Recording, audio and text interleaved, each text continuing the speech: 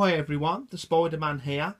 Well as you can see in the uh, video everyone, this is my Theraphosidae species Panama. So I think it's due a feed now I would say. It hasn't fed for probably about a week to 10 days. So let's just take the lid off for you guys. And there it is there, looking absolutely beautiful. Um, it's perfectly fine in there just for the one more molt.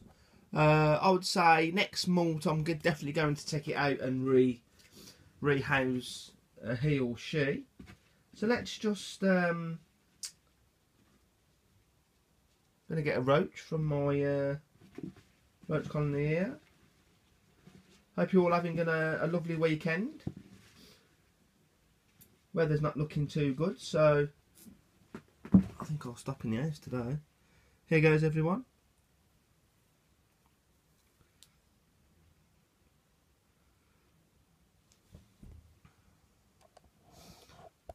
That was a nice attack there.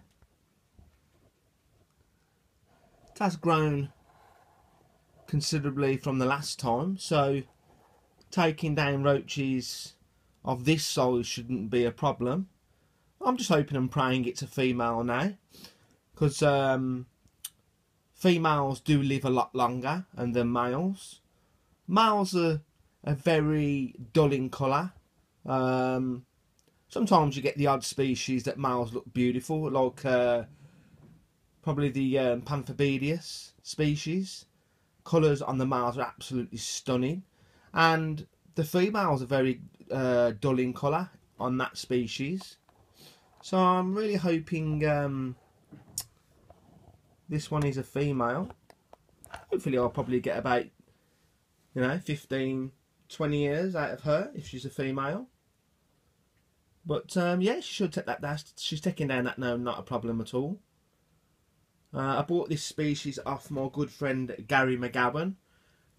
Great bloke, fantastic breeder.